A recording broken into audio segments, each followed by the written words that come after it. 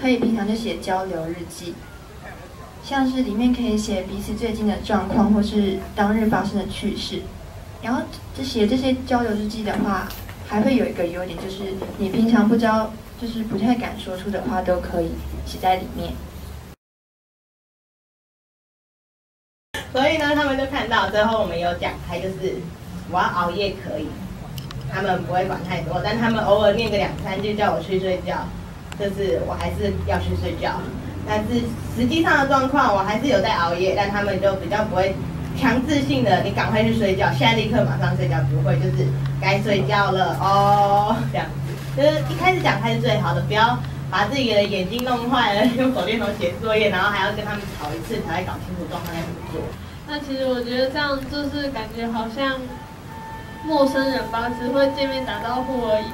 那就是看完这个之后，我觉得回去